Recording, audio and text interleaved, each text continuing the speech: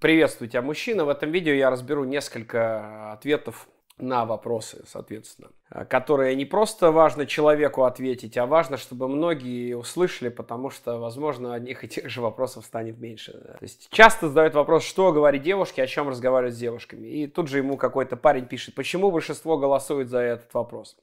Как будто вам выдадут какую-то инструкцию универсальную, в которой расскажет, что говорить. Да, действительно, проблема не в том, что говорить, а проблема в э, самом смысле, в самой сути. То есть, когда вы думаете, что с женщиной нужно говорить о чем-то особенном, чтобы там понравиться, то есть, чтобы она обязательно вас оценила в хорошую сторону, чтобы угодить, чтобы развеселить, то есть, это уже провал. Поэтому здесь вопрос не в тематике для разговора, а в том отношении, с которым вы туда идете, с которым вы задаете себе этот вопрос, что говорить. По сути, важно не то, что говорить, а то, чтобы создать условия, при которых э, женщина захочет вести с вами диалог, при которых она захочет вас слушать. И самая главная проблема, по сути, я считаю, в том, чтобы как создать такие условия, при которых женщина будет с радостью поддерживать с вами диалог. И мужчины думают, что все должно быть в разговоре приятно и интересно для нее.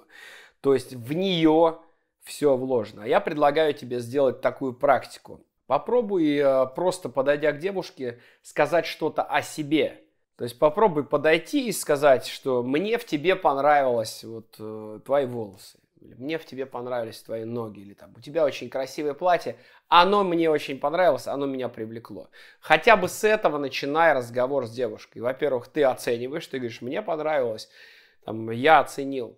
Во-вторых, ты акцентируешь действительно на том внимание, что тебе действительно понравилось. И следующее, когда ты идешь туда за одобрением, чтобы взять телефон, чтобы ты понравился, это как бы провал. А, с этим поможет справиться, когда ты себя убедишь в том, что ты идешь туда просто пообщаться. То есть иди туда не знакомиться, иди туда просто общаться. Я иду общаться. И если человек мне нравится, как он общается со мной, я буду продолжать общаться. Если там все круто, классно, мило и здорово, ты такой говоришь, оп, значит я попробую спросить телефон. Если там не классно, не круто, не здорово, не вкусно и не круто, ты говоришь, ладно, всего хорошего и пошел. То есть, когда ты идешь не за каким-то результатом, а за процессом пообщаться, и ты оцениваешь, хочешь ты общаться там или нет, ситуация начнет меняться. Ты должен смотреть, приятно ли тебе не в нее вкладывать весь вот этот, вот всю свою энергию, как бы ей понравится, лишь бы ей было приятно и интересно. Приятно ли мне с ней общаться. Вот этот вектор надо поворачивать. Но на самом деле, если честно, пока ты не вытряхнешь из себя это дичайшее, непреодолимое желание там понравиться, да, то есть там угодить, для тебя так и будет э, любая тема с женщинами ну, целой в том числе там как о чем разговаривать или любая другая, потому что тебе очень важно там понравиться. Следующий вопрос. Измененное состояние сознания после того, как пару лет ничего не делал, а потом резко пошел в подходы. Сколько оно будет э, ощущаться как дискомфорт? То есть человек спрашивает по-простому, когда пройдет э, дискомфорт при подходах. А, во-первых, я думаю, что когда ты пишешь, что пару лет ничего не делал, то есть, э, скорее всего, ты и до этого ничего не делал, потому что часто бывает такое, когда мужчина говорит, вот я был в отношениях, а теперь вышел из отношений и понял, что разучился.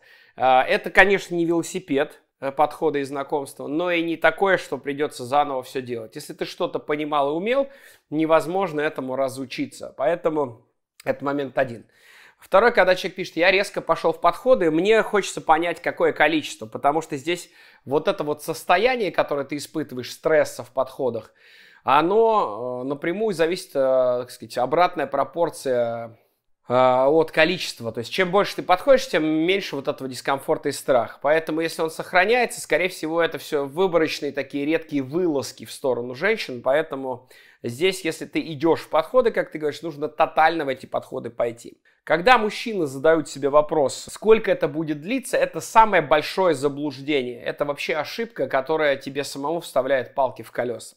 Нет конкретной цифры, сколько это будет продолжаться. Как минимум а, по той причине, что все люди разные, это если даже говорить о том, что все одинаковое количество делают, э, практикуются одинаковое количество раз. Все люди разные, у всех э, голова устроена по-разному, у всех какой-то анамнез э, разный, поэтому кого-то будет отпускать раньше, кого-то будет позже. Когда ты задаешь себе вопрос, сколько это продлится, это очень плохо и неправильно.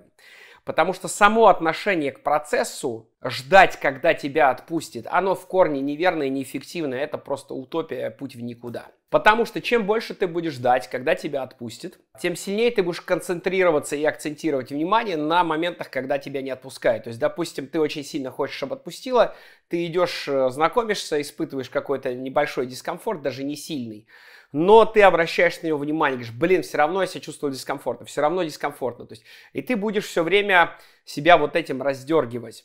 Ну, например, как пример с правами. Ты приходишь учиться вождению, первое время тебе очень некомфортно, ты стрессуешь. Но здесь задача важнее научиться управлять транспортным средством, нежели чем э, ждать, когда перестанет какой-то дискомфорт быть от этого. То есть согласись, когда ты учишься, ты же не думаешь, ну когда же меня отпустят, ну когда же меня отпустят. Ты хочешь научиться. Ты думаешь о цели научиться, тут отношение другое. Потому что в какой-то момент, когда ты научишься, через какое-то время ты обнаружишь э, себя в том положении, что, блин, а я вообще расслабился. Оказывается, это пришло незаметно для меня. С женщинами будет то же самое. Если ты будешь акцентировать внимание на том, когда же меня отпустят, а не на том, э, как научиться, тебя никогда не отпустят. А потом в какой-то момент, когда ты научишься, ты поймешь, блин, а это было легко. И когда на тренинге практика я спрашиваю ребят, а как вообще, вот, ну, ты же там вчера ничего не мог, а сегодня ты уже там спокойно общаешься. Я говорю, а что ты искал? Он говорит, а я не помню. Оно как-то само.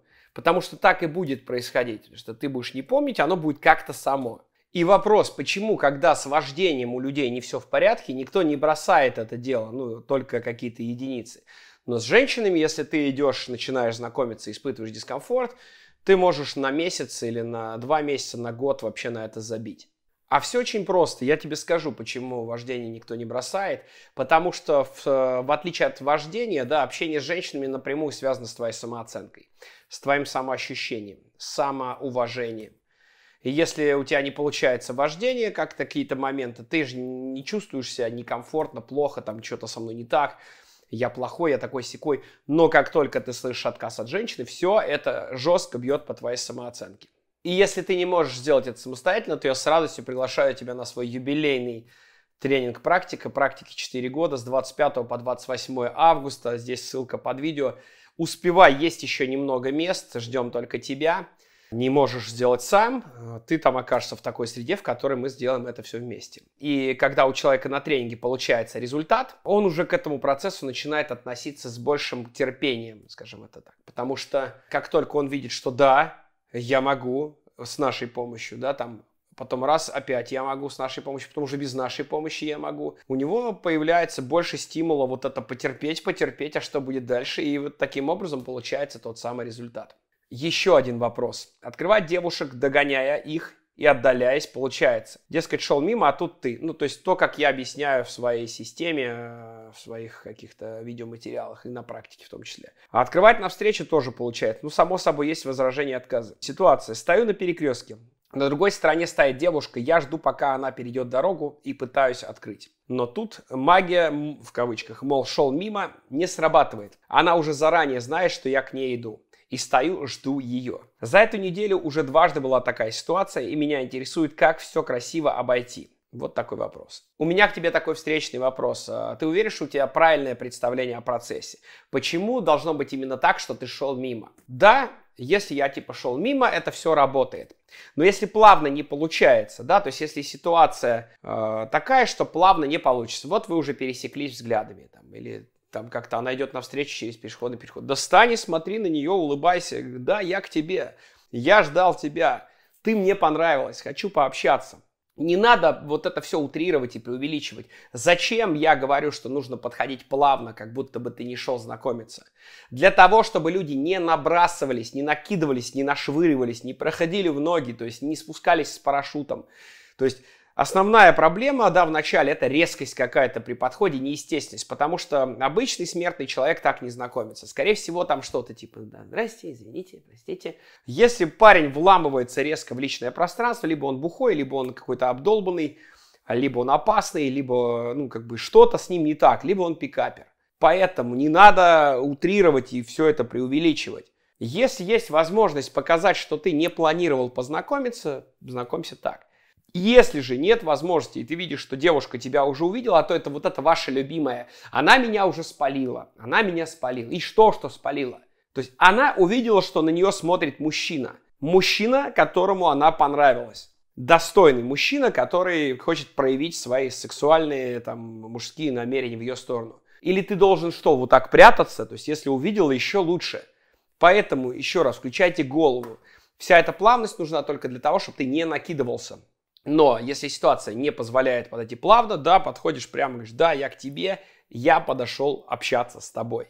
Как видишь, здесь очень много нюансов, да, которые тебе неизвестны, и э, это похвально, что люди делают, которые задают эти вопросы. Но если вы делаете самостоятельно и не можете дать себе грамотную обратную связь, э, соответственно, результат может либо задерживаться сильно, либо быть совсем не таким, какой вы хотите. Либо это для вас будет продолжать оставаться стрессом. Чтобы такого не было, все на практику с 25 по 28 юбилейная практика. Будет очень круто. Девчонки будут, которые будут вам помогать и много чего еще. Увидимся там. Пока.